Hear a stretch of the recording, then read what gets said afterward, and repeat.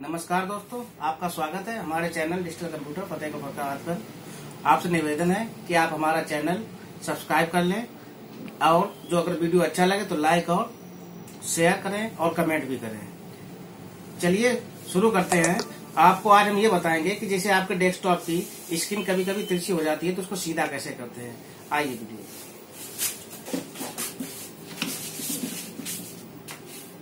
पूरा कवर करो उसको। इसमें आप देख रहे होंगे किस तरीके से हमारे सिस्टम की स्क्रीन तिरछी हो चुकी है। तो ज़्यादातर लोगों की मेरे पास कंप्लेंट आती रहती है कि भैया फ़ोन पे मेरे पास बहुत लोग पूछते हैं कि स्क्रीन तिरछी होगी, इसको कैसे सीधा करें स्क्रीन तिरछी होगी, इसको कैसे सीधा करें। तो आज हम आप लोगों को बताएँगे कि इसकी तिरछी स्क्रीन अगर हो गई है, या तो लेफ़्ट साइड में हो गई है, या राइट साइड में हो गई है तो उसको कैसे सीधा करते हैं। बहुत ही सरल है, बहुत ही आसान है। अगर आपको वीडियो अच्छा लगे, अगर आपको समझ में आए तो प्लीज़ मेरे चैनल को ज़रूर लाइक करें सब्सक्राइब करें शेयर करें, और ये वीडियो सबको बताएँ। देखिए। इसको सीधा करने के लिए हम कीबोर्ड की तरफ़ ध्यान देंगे पहले।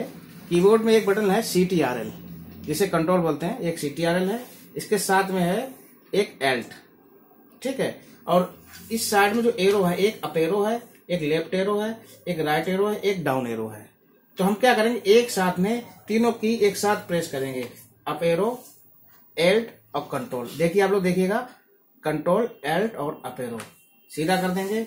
आप देखेंगे स्क्रीन हमारी सीधी हो गई है। और इसी प्रकार जैसे कभी कभी क्या होता है कि तिरछी हो जाती है एल कंट्रोल एल और लेफ़्ट कर देंगे तो वही स्किन आपकी लेफ़्ट साइड में चली जाएगी।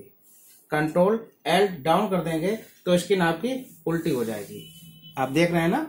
अब बहुत आसान हो गया, कुछ नहीं करना है, कभी भी आपकी कोई भी समस्या आ जाए, कोई भी दिक्कत आ जाए, आपको एक साथ में कंट्रोल एल्ट और अपेरो दबा देंगे तो हमारी स्किन एकदम सीधी हो जाएगी।